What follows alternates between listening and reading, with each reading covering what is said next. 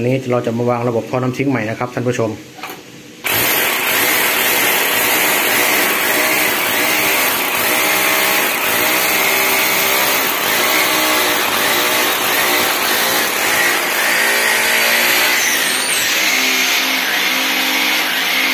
นี่คือท่อเก่ามันครับ ที่อยู่ข้างในนี้ มันตันหมดเราก็จะตัดต่อใหม่โดยใช้ต้นเก่านะครับของเก่ามันเล็กไป ครับมันจึงทำให้มันกดตันได้ง่าย วันนี้เราเลยว่ามาวางระบบให้มันใหญ่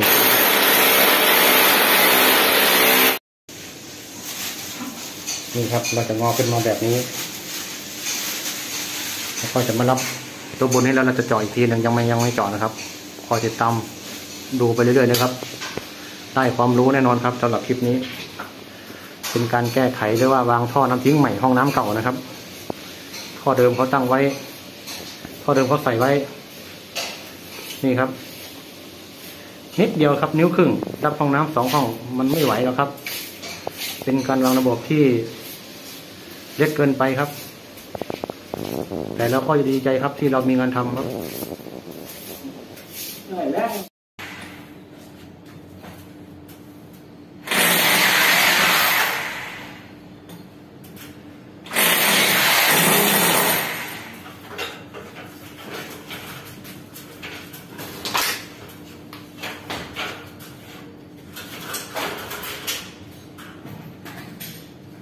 เอายัง ทำไงยังทำเอาเอาเอาพูดพ่ออาจารย์เลยเนี่ยไปดูนะ อะไรใหญ่ๆนี่ เอาเอาพูดพ่ออาจารย์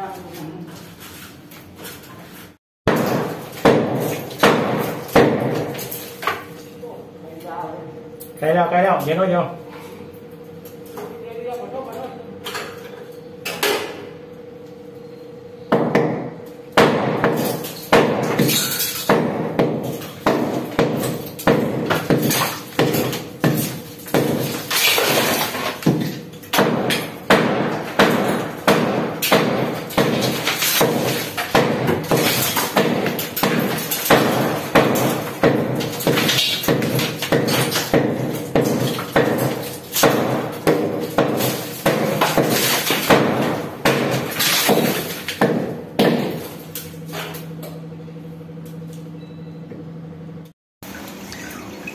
สวัสดีครับท่านผู้ชมและท่านผู้มีเกียรติทุกท่าน วันนี้ช่างเล็กจะพาท่านผู้ชมมาแก้ไขนี่ห้องน้ำตันครับ ท่อน้ำทิ้งตัน ตันหนักมากครับ ตันแรงมาก ใช้งูเหล็กมาหมุนแล้วก็ยังไม่ลงครับ ฉะนั้นวันนี้เราจึงแก้ไขท่อน้ำทิ้งตันด้วยการเดินใหม่ครับท่านผู้ชม เจาะปูนเจาะผนังเจาะพื้น อาจจะยากและใช้เวลานานหน่อยแต่ก็เราคุยกับ เจ้าภาพหรือเจ้าของบ้านแล้วครับ ว่าเขาอนุญาต เพราะว่าถ้าไม่ทำแบบนี้ นี่ครับ น้ำในห้องน้ำก็จะเน่าเหม็นแบบนี้ครับ เหม็นหิวนี่ครับท่านผู้ชมเนี่ย อันนี้เพึ่งวิทย์เสร็จเมื่อกี้นะครับท่านผู้ชมเนี่ยวิทย์น้ำแห้งดูดูคราบน้ำจุดกองขอบกระเบื้องท่านผู้ชม ขึ้นมาเกือบสิบเซนเนี่ยนี่เดี๋ยววันนี้นี่จะจะเจาะตรงนี้ตรงที่ขวดน้ำยาล้างน้ำน้ำเนี่ยนี่ครับ จะเจาะลงไปข้างล่างแล้วเราจะแย่ท่อขึ้นมาเดิน เดินท่อใหม่ทั้งทั้งห้องทั้งตึกเลยครับ ก็มีอยู่สองห้องครับอันนี้ห้องห้องห้องอีกห้องหนึ่งเดี๋ยวจะพาไปดูอีกห้องหนึ่งครับ เราเจาะปูนเสร็จแล้วอยู่ติดกันเลยครับ ก็เป็นการแก้ไขท่อน้ำทิ้งตันแบบถาวรนะครับท่านผู้ชมแบบนี้ไม่ต้องเป่าไม่ต้องล้วงไม่ต้องใช้ลวดงูเหล็กแย่ เพราะว่าเราลองใช้งูเหล็กแย่แล้วมันไม่ได้ผลครับ น้ำไม่ลง แน่นมาก งูเหล็กไม่สามารถปั่นตัวตันออกได้ครับ เลยแก้ไขด้วยการเดินท่อใหม่ครับ ไปไปดูอีกห้องหนึ่งเลยครับเอาแล้วนะอืม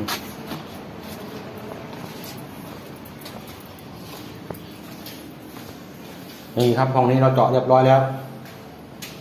ลงไปข้างล่างแล้วก็เอียงอยู่นู้นก็มี นี่ครับ เจาะเรียบร้อยแล้วทีนี้เราก็จะเหลือแต่วิธีเอ่อการต่อท่อ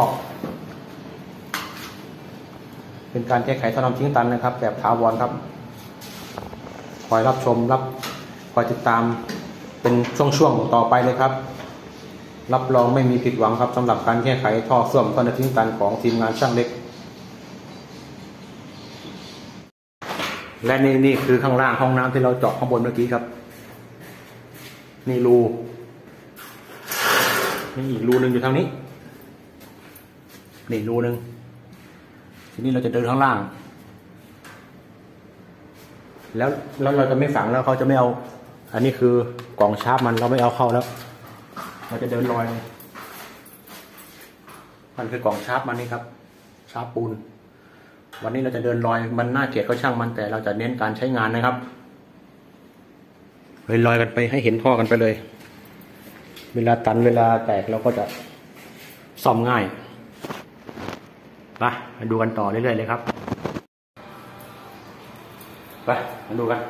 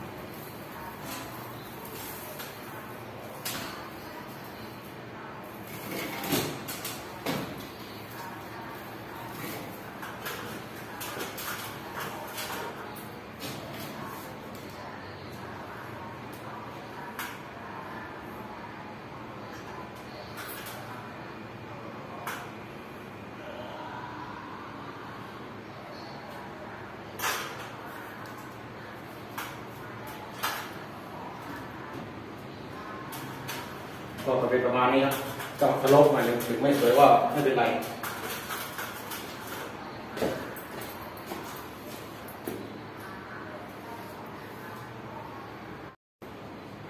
ทีนี้เอาจริงแล้วครับท่านผู้ชมทากาวแล้ว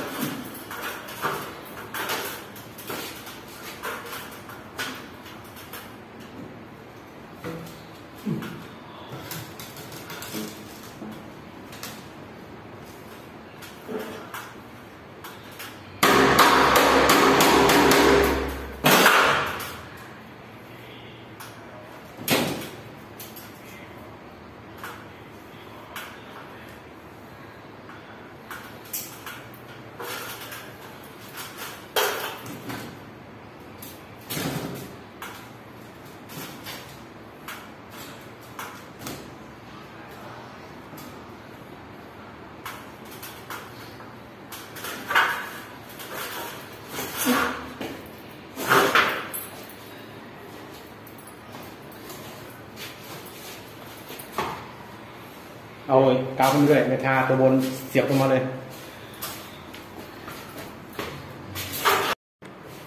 ทางนี้เสร็จแล้วครับ ต่อไปจะไปอีก ไปอีกรูนึง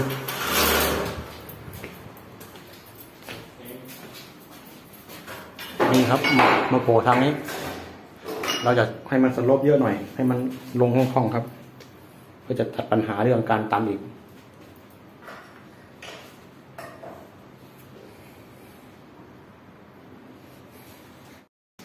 นี่ครับท่านผู้ชม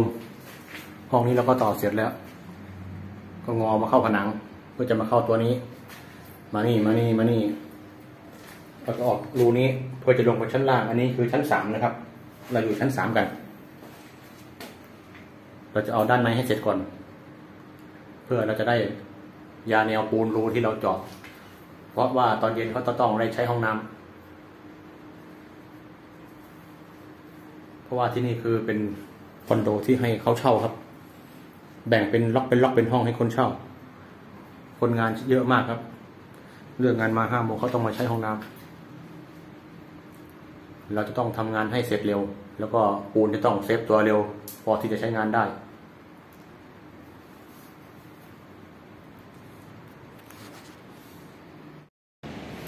และนี่คือด้านนอกนะครับท่านผู้ชม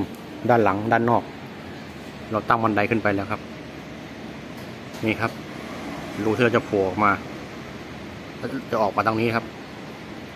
เราจะไม่แยกไปรับใครครับไม่ให้มันลงมา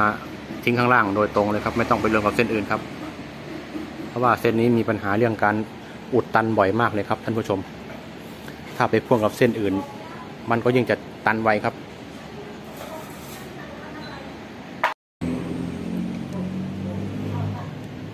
ช่างมาหากำลังทากาวอยู่ครับท่านผู้ชม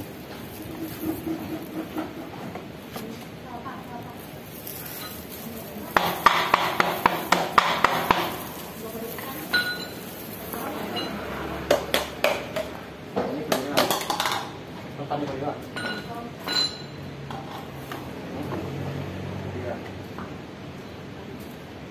ดีแย่เข้ารูได้ใช่ไหมล่ะอืม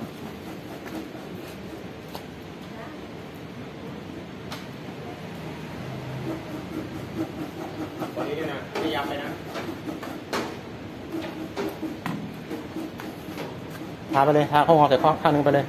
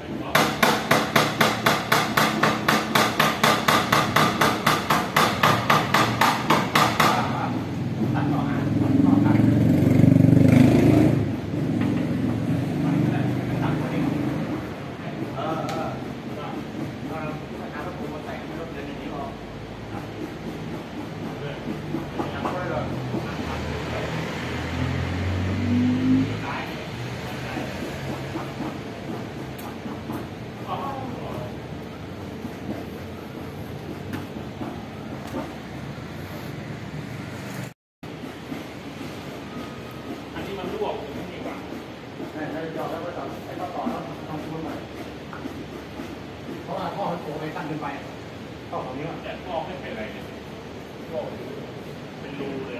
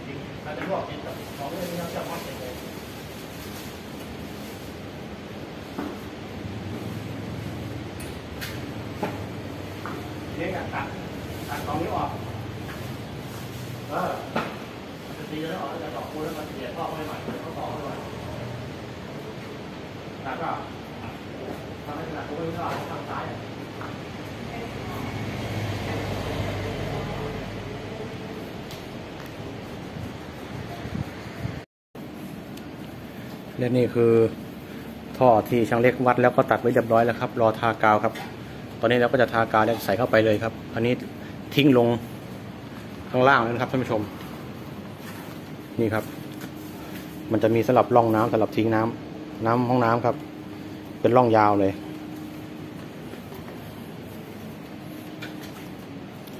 เดี๋ยวจะทากาวแล้วครับ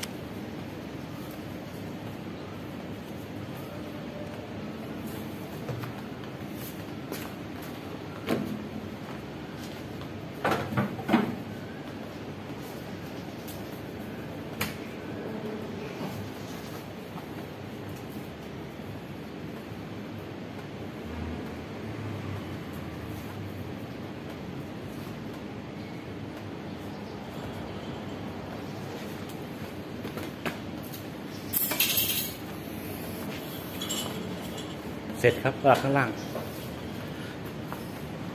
ลงรางลงร่องน้ำเรียบร้อยครับ ทีนี้เราก็จะไปต่อข้างบนหน่อยนึงครับ ขึ้นไปชั้นสองชั้นสามครับหน่อยนึงไปครับไปกันเลย นี่ครับที่เราโผล่เข้ามาเมื่อกี้ ทีนี้เราก็จะต่อจำข้อหากันให้ไปทิ้งข้างล่างที่เราต่อเสร็จมาตะกี้ไม่ยากครับง่ายนิดเดียว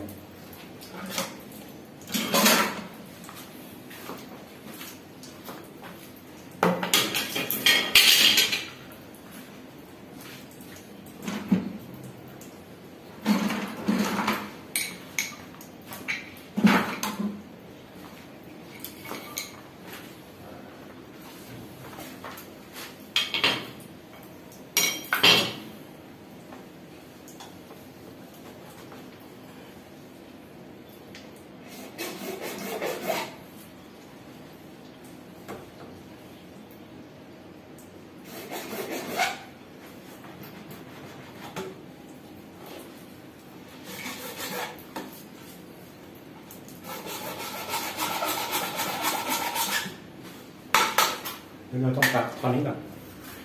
ตัดให้มันขาดก่อนนี่ขาดแล้ว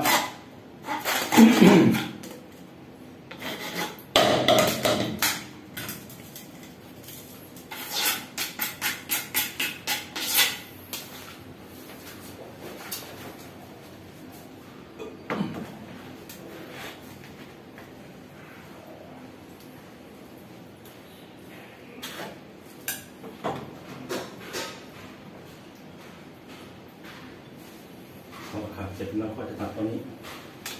มันเข้าได้ที่โยนแม่งเกินผักแตกเลยหืมโยนผักแตกเอออืม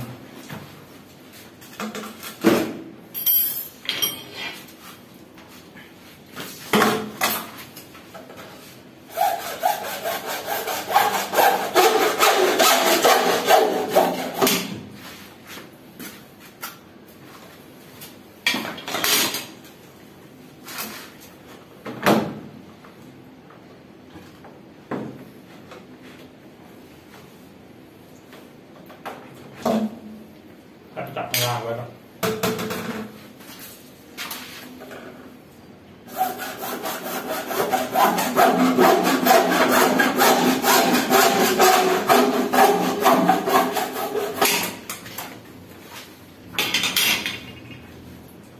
ถ้าจะดันไปละ อืม จะขึ้นไปใส่รถกลมพอดี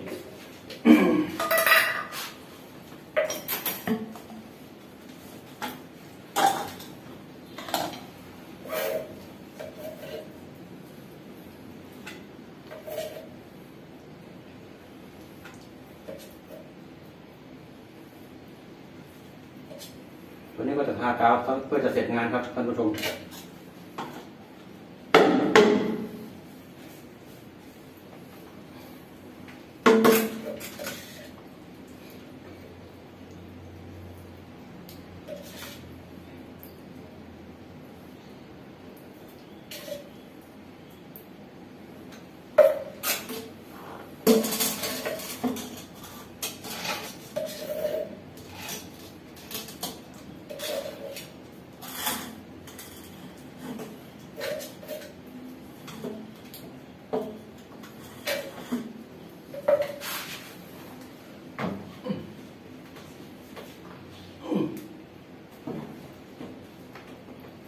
สั้นไปขึ้น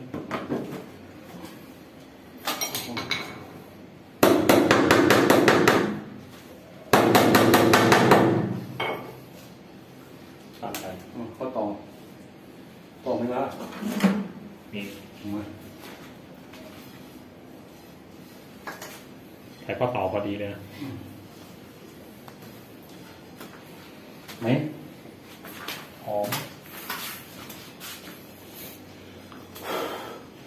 ขอบคุณทุกการรับชม ขอบคุณทุกคอมเมนต์ขอบคุณทุกการติดตามนะครับสำหรับการเดินท่อน้ำทิ้ง และแก้ไขท่อน้ำทิ้งอุดตันในห้องน้ำก็มาถึง ตอนสุดท้ายนะครับ ก่อนจากกันขอให้ท่านทุกชมทุกท่านจงโชคดีมีความสุขนะครับ สวัสดีครับผมเจอกันคลิปหน้านะครับ อัน นี้เราต้องทำปูนให้เขาอะทำนี่ครับ ให้เราเดิน เราเดินสลป25 องศาเลยครับ เพื่อจะไม่ให้น้ำมันขังในท่อที่ต่อไป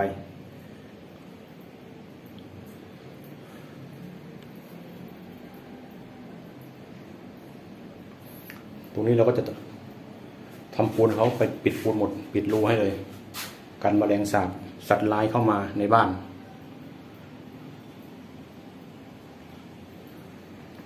ตรงนี้เราก็จะตัดใส่ข้อต่อใหม่ ก็จะจบงานนะครับ ลาไปก่อนครับ สวัสดีครับ นี่ไงครับ แก้เสร็จสัดใส่ข้อต่อเรียบร้อย พร้อมใช้งานเลย เสร็จสัดลุล่วงไปด้วยดี ไม่มีปัญหา